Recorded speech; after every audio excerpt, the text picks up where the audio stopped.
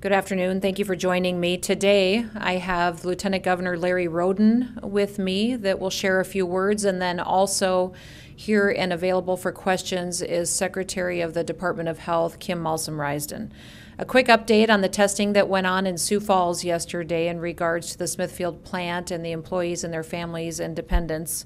Uh, it resulted in just shy of 1,500 tests being run.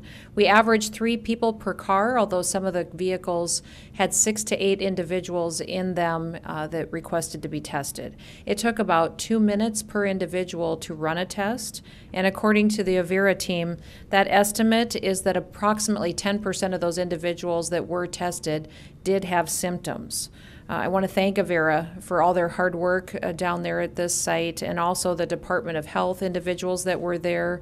Um, the National Guard and the CDC were all present uh, and said it was a very successful day with a lot of tests being taken and samples and run, and we expect to have those results back within 48 hours of those samples being taken. The CDC team on the ground noted that this was the largest testing event that they had ever been a part of. Uh, and they felt it went very well and was well coordinated. I also want to thank all of the language specialists that helped yesterday. Um, they were amazing, and their help was invaluable. Uh, and again, um, we will continue to do this for several more days and make sure that testing is continuing and that those results are reported. And they will be available on the COVID website, covid.sd.gov, and we'll stay on top of that and let you know how things are going. Uh, I do uh, want to announce today that I have accepted the resignation of the Secretary of Agriculture, Kim Vanneman, uh, who's been a longtime friend of mine. Uh, she and I have worked on ag policy in South Dakota for almost 20 years. Uh, she's a very special friend of mine. I don't know of a bigger advocate for agriculture. Uh, she has served not just at her local level, but at the state level and at the national level, making sure that farmers and ranchers were supported um, and that small businesses were supported and that we had the ability to pass our operations on to the next generation.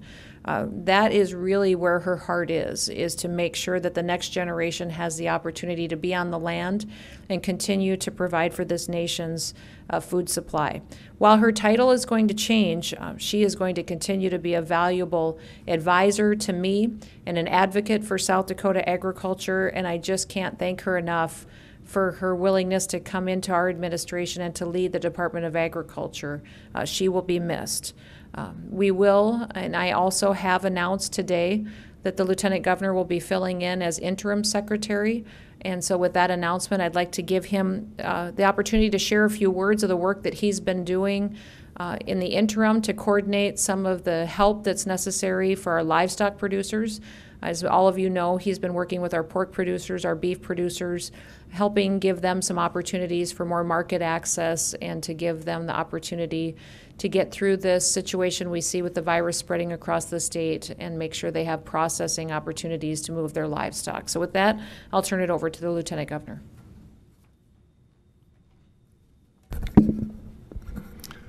Well, thank you. And, and uh, first, I'd like to start by saying thank you to Kim Vanneman for her service in the years in fighting for South Dakota and for agriculture in South Dakota. Uh, I mentioned to the governor earlier that the first time I met Kim Vanneman and the governor uh, was at a meeting with President Bush a number of years ago advocating for agriculture. So it's, uh, uh, I've, in, I've very much appreciated her friendship and uh, her background and the things that she's brought to agriculture for our state. I also want to thank Governor Noem for the opportunity. Uh, for me, being raised on a farm and ranch born and raised in western South Dakota and working in agriculture my entire life, uh, serving on the Ag Committee and chairing Ag Committee in the legislature for a couple of years. Uh, what an opportunity to get to represent South Dakota's number one uh, industry.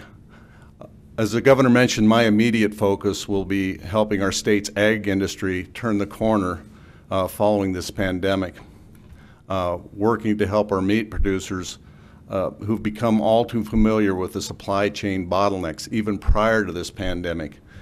And now, uh, uh, as, as the governor mentioned the last several weeks, uh, I've worked with uh, Rick Valerie and uh, with Dr. Oedekoven at some of the immediate problems, starting with with the Smithfield closure, the problems that that brought about for our, our pork producers. Initially, we worked with the governors, with, with the governor to issue an executive order to allow them some slack in their numbers and their confinement units. More recently, working with Dr. Oedekoven and uh, local uh, processing houses to find avenues so we can take some of the pressure off of the pork producers who have a backlog of hogs and overweight hogs. Also, uh, in the press uh, lately, we've seen a lot of uh, information, especially out west and especially in the world of beef, about uh, Wyoming law that's being considered to help uh, producers in direct sales to beef. Uh, I was immediately interested in that, and as I looked into that, I've, become more educated about our current system in South Dakota. And the fact of the matter is, our system in South Dakota al already allows more latitude for our producers uh, than what Wyoming law would, even with this in place. Having said that, the one area that it doesn't allow for is sale of South Dakota inspected beef across state lines. And I think that's an issue that we can work on, we can resolve. We're already working together with uh, Dr. Oedekoven and our, uh, the, uh, the, Department of Ag in finding a solution, whether it's uh, federal legislation or a presidential executive order to allow for our state inspected project, product to be sold across state lines. I, and I think that has uh, long-term impact if we can find ways to add value for our producers, uh, especially in the pandemic to get us over the hump, but also long into the future. So with that, again, I would like to thank the governor for giving me this opportunity. Uh, what an honor for me to uh, work for agriculture in the state of South Dakota. Thank you all. Thank you, Larry. I appreciate that. And before I close today, I do want to draw attention to an issue that's extremely important to me uh, and to all of our nine tribes here in the state of South Dakota. May 5th is the National Day of Awareness for Missing and Murdered Native Women. According to a 2016 Department of Justice report, more than four in five Indigenous women in the United States experience violence in their lifetimes. Many of our tribes have helped and made great contributions to bringing awareness to this issue, including federal legislation like Savannah's Law. In my first year in office, I signed legislation into place that put in, in place procedures uh, that would allow South Dakota, when investigating cases of missing and murdered Indigenous women, uh, that we would have more information and data available to us. Last summer, I invited tribal elders, or actually, tribal elders invited me to ride with them on a memorial ride honoring missing and murdered Indigenous women across the state. Uh, it was impactful for me, and a, and a special day where we talked about the incredible challenges that so many of these families in South Dakota and across the country and the world face. I rode with tribal elders, Native women and children, many other tribal uh, members that represented South Dakota's tribal nations. Earlier this year, on behalf of the state, I accepted a missing and murdered Native women a quilt that was crafted by tribal elder women. Um, I display this uh, quilt in a plaque here in the state capitol and at the mansion for all of those uh, here in the state to enjoy, but also to look on and reflect about the plight that has impacted so many women. I want to educate communities about the important issue and draw awareness to the fact that we all need to take care of each other and make sure that we stop what is happening with so many of our folks that are in our tribal nations. Please take a minute today uh, throughout your day and think about these unique challenges. See what you can do to draw awareness to this situation that we're facing and remember these women in their families and lift them up in prayer. With that, let's open it up to any questions that you may have. Governor JP at KORN News Radio. Sure, go ahead, JP. Well, you had 1,500 uh, tests in Sioux Falls yesterday. Are you considering doing uh, similar mass tests in other communities like Aberdeen, Yankton, Mitchell, Watertown, and Brookings? And what would uh, trigger a mass testing event like that? We certainly would consider that if the situations uh, indicated that that would be necessary. I can invite uh, our Secretary of Health to come up and to talk about some of the protocols that uh, deemed this a situation that we could facilitate this in Sioux Falls. Thank you, Governor. This is Kim Malsam-Rysdon. So, um, in terms of the current event that's going on in Sioux Falls, that was really important to getting hundreds of people back to work um, after the closure of the uh, Smithfield plant there. And so, um, that will be a, a major consideration moving forward, is if we're having uh, major impacts on people being able to work and to, to to do that safely. So um, I think as we talked about yesterday, we're certainly open. Mass testing is a part of our plan, um, and we would be looking to use it in several different instances. Um, nursing homes will be another key industry where we um, would expect to see some mass testing. We've seen that happen already. Um, uh, without the state's involvement, um, but certainly we would look uh, to help partner on those events in the future as well. Thank you. Thanks, Kim. Further questions? Yes, Beth Warden calling with Dakota News Now. Yes, go ahead. Uh, yes, I was wondering if you had any further plans to meet with the group of Smithfield workers and those organizations supporting them. The letter that they sent, I believe, last week requesting a meeting with you. Yes, we believe that we will be facilitating that. I, I don't believe it'll be able to be a in-person meeting uh, just because of the situation we're in with COVID-19 and the spread across the state. But we are facilitating, making sure that we can have a conversation about some of their concerns.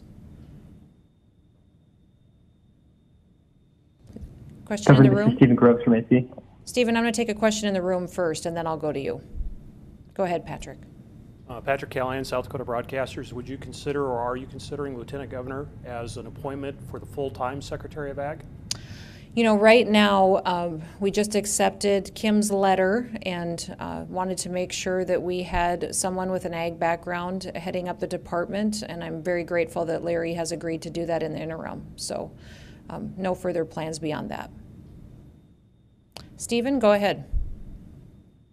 Uh, with meatpacking plants being, being designated as critical infrastructure, I was wondering if you would consider um, stationing the National Guard to man some of those plants if uh, the workforce was either unable or uh, not willing to um, to man the plants. You mean as far as be workers in the facility? Uh, yeah, so I assign them to a mission to help keep the plants up and running. No, that has not been something that I've considered, nor do I believe that's an appropriate use of our National Guard. Um, and I would have to look to the Defense Production Act and the executive order by the president to see if that impacts that definition of their role in these types of situations. But um, I'm not aware of any other place in South Dakota or point in time where they've been utilized in that manner. Yes. Governor Seth Tupper, SDPB. Okay, we'll go to Seth, and then I've got a question in the room too. Uh, it looks like the uh, all or nearly all of the money in the Small Business Relief Fund has been uh, loaned out, and I was just wondering if you're thinking about trying to put any more money into that fund, or if you're satisfied at this point with uh, where where that's at. Yes, the, the money that we put into the Small Business Crisis Relief Fund uh, that was set up by the legislature on veto day uh, has been allocated out to small businesses all across the state of South Dakota. Uh, we've looked at possibly putting more resources in that fund. It would have to be dollars outside of the state of South Dakota if there were federal resources that we could utilize for economic situations like this. And that's one of the things that we're considering, but also relying on guidance from Treasury and Congress on if that is a possibility. I think in light of what we're seeing with revenue numbers coming in, uh, knowing that we're going to see some pretty significant impacts coming in reports that will come forward in June and July, uh, we're not sure that we have state dollars that we could put into that fund at this time. Uh, Good morning, Yes, ma'am. go Joseph ahead. Barkoff, Capital Journal. Um, Have you seen the, about uh, missing, murdered indigenous women? Mm-hmm. Um, Have you seen the movie uh, Somebody's Daughter? And have you uh, spoken to uh, the Attorney General? Um, At the, scre- they had a screening for it here at, at the, the Rapid City Transit and, Mm-hmm. and- or, I'm sorry, not, uh, the bus, and he was there. Mm-hmm. We all got, you know, have you seen it or, or talked to him about it or? Yes, I was aware when they had the screening of somebody's daughter, although I couldn't make it when it was being conducted. But I heard it's an extremely impactful movie, and uh, You've just reminded me that I need to find time to watch it because um, the Attorney General and I have talked extensively about um, missing, murdered, and Indigenous women uh, and what we can do in South Dakota to make sure that we've got all hands on deck to bring awareness to the situation that so many of our tribes face, but also what we can do to make sure we have the tools and statute that we need to make sure we protect these women. Um, this is Morgan at the Rapid City. Sure, go ahead, Morgan. I just want to go back to Beth's question and just kind of, I mean, have you had a chance to read or respond to the letter yet? To, in addition to maybe any plan you have or any concrete steps you have to meet with the group? I know my staff is uh, facilitating it. Okay. Well, have you had a chance to respond? Uh, That's exactly what I've already covered, is that we are setting up that conversation. It's being facilitated, and we'll let you know how that conversation goes. Thank you, Morgan. Governor Noem, it's Claudia Contreras with News Center One. Sure, go ahead, Claudia. So um, I just have a question about local business. Obviously, there's kind of like a lot of information being pumped out by the DOH, DOH and obviously um, news outlets. What are we doing in order to prevent um, consumers from being, you know, a little bit afraid to go out and visit those businesses? Obviously, when they don't have customers, business goes down and things get worse for them. So can you talk about that? Well, one of the things that we facilitated is um, to push back on a lot of the fears that people have felt is to give them information and facts. Uh, we've consistently put on covid.sd.gov uh, information on what individuals can do and actions to protect themselves, um, how they can make sure that they're only going out for essential trips. Uh, there's also connections on that website of volunteers who'd be willing to run some of those errands for them or help them facilitate uh, essential needs that they might have. We also have guidance for businesses there, so I think that it's good for individuals to be informed on what guidance um, businesses may be following to know how they are being protected by those individuals that run our small businesses across the state. I know the Department of Health still has their call line and call center open, so if people do have concerns, they can certainly reach out and speak to an individual that will give them specific uh, uh, answers. And if they have specific concerns about an area of the state, I know that they will help facilitate that conversation as well. Um, beyond that, uh, you know, we having that resource available on that website, that 800 number, we believe that many people that do have individual concerns are able to do that. And if they are concerned about their health in particular, uh, many of these individuals are reaching out to their providers and their doctors as well. And we've drawn attention and put available on our website um, other nonprofits, information, uh, even crisis counseling lines, uh, mental health lines that are all available for them should they need resources going forward. Thank you. This is Trevor Mitchell with the Argus Leader. Sure, go ahead, Trevor. Uh, yeah, I was wondering if either you or uh, potentially the Secretary of Health could talk a little bit about uh, maybe an update on the uh, clinical trial of uh, hydroxychloroquine. Trevor, this is Kim Alsam Rysdon. So the registry part of the trial is ongoing, and that means COVID pos- positive patients. Um, in concert with their providers, their doctors are able to access the drug if they feel like that's the right course for them. Um, so that is up and running, um, and I know that um, particularly uh, being used uh, within the Sanford system um, and across their uh, across multiple states actually um, within their system. The clinical side, the clinical trial side, um, is something that we're still working through. Um, some of the details, um, I think people are aware that the FDA came out with some information around um, some safety um, information uh, associated with hyd- hydroxychloroquine, and so we're looking at that, and we'll be actually meeting on Thursday to talk about next steps for that part of the trial. Okay, thank you.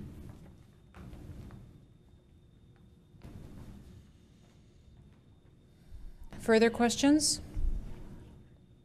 So that's at SDPB again. Could I ask uh, Governor Rhoden a question? Sure. Lieu- or Lieutenant Governor Rhoden. Sorry, Second Lieutenant Governor Rhoden. Gave him a good promotion there. Uh, Man, I'm really moving up the chain. yeah, rapidly.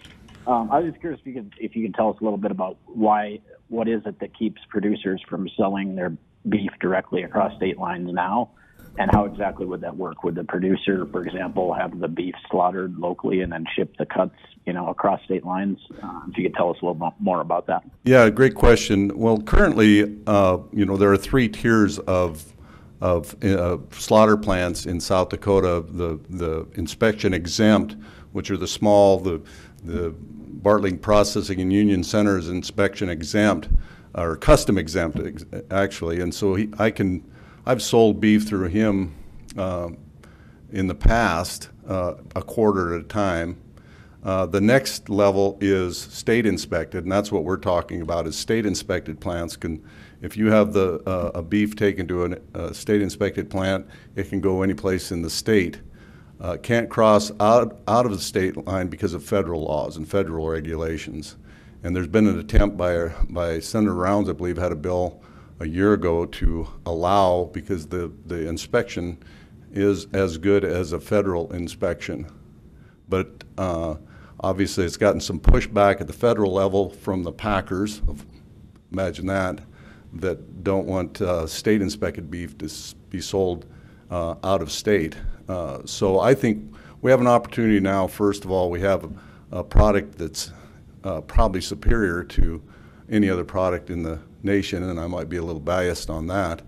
Uh, But we have an opportunity now with this pandemic, either through legislation or executive order, pre- presidential executive order, to get past that and allow for us to, uh, our producers to sell across state lines. And so we're working pretty closely with our congressional delegations and uh, our connections in DC to help facilitate some of that change and allow for some uh, e- initially short-term fix to the problem. Hopefully, that would demonstrate uh, the quality of the South Dakota product and, and work toward a long-term solution for producers to add value. Could I get a follow-up on that, Lieutenant Governor? May is beef month. This is an easy question. May is beef month. What would you like to say to cattle producers right now? They're having a hard time. I talked to a lot of them. What encouragement would you offer during beef month and why is South Dakota so highly regarded? Well, I think, you know, the quality of our product is second to none. And uh, we, we put our beef up against anybody. Right now, uh, there's not a lot to be happy about as far as the, from the production standpoint. We're faced with some very depressed markets. At the same time, uh, record, record high box beef prices. Uh, and so that will be uh, one of my top priorities as Secretary of Ag is to work towards solutions in that area because that just isn't right. That our producers are living hand to mouth and, and going broke at the time when uh, we're seeing record high retail beef prices all across this country.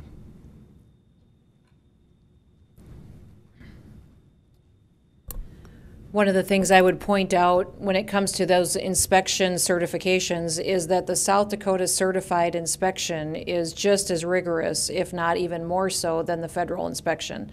So in us allowing our producers to market their products across state lines, we feel like the consumer confidence should be just as high with a state inspection as it would be a federal inspection because of the rigorous standards that we have here in South Dakota. Further questions? Governor? um, Yes. We've seen a number of deaths today uh, from nursing homes. I was wondering if you have any uh, specific approach or strategy to uh, tackling that issue with the coronavirus. Specific to impacts on nursing homes? Is that the question? Yes. Yes. I'm going to let Kim speak to that because I do know that we have some specific things that we are doing for that vulnerable population. This is Kim Malsam-Rysdon. So yeah, our work with nursing homes is uh, remains very, very critical as we move forward. Obviously, um, individuals that live in nursing homes are a very vulnerable population, and um, can be uh, much more adversely impacted by uh, you know the COVID diagnosis. Um, part of our response includes um, ongoing um, guidance and communication around things like infection control, making sure that nursing homes have PPE. Um, we allocated some of the funding that we got at the fe- at, from the federal uh, government down to the state level, um, specifically to nursing homes to help them with their supply needs. Um, we also help them through um, the state resources that we have so that their workforce can be protected and um, that can help keep individuals safe.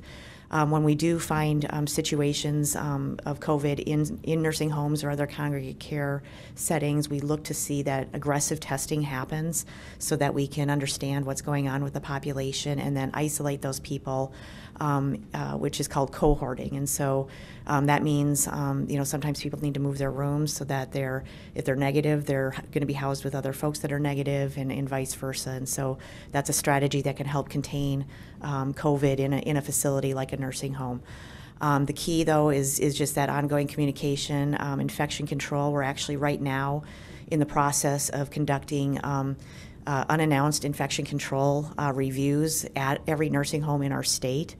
And that is a way to help um, provide um, technical assistance, to provide guidance, make sure that folks have the right information and that they're able to implement um, good processes. And um, I just got an update on this from my team this morning, and so far those reviews have gone very, very well. Um, the problem is COVID is very um, highly transmittable, and so when we see it in a setting like a nursing home, it's um, it's just very, very easily spread. Um, but we're doing everything we can in partnership with those providers to minimize that. The Secretary, Sure. can you explain a little bit of the logic behind, uh, so there's tons of difficulties with wearing a mask, and, Mm. and not even the N95 mask, just, you know, whether you store-bought, non, you know, surgical, all the way down to, you know, people fidget, touch, they don't realize that they're supposed to, you know, if you touch, you've got to go wipe, you know, Mhm. wash bef- before you, you, that is a problem, but the, the whole, I think, theory behind masking up now is, is the, it protects you, not me. Sure.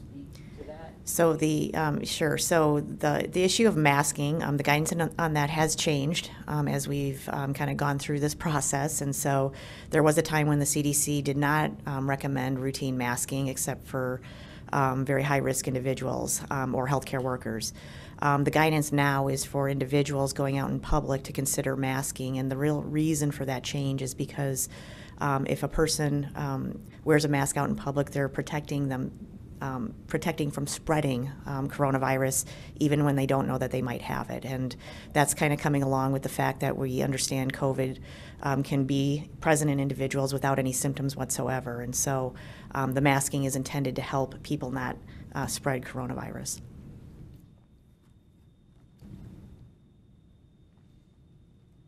Further questions?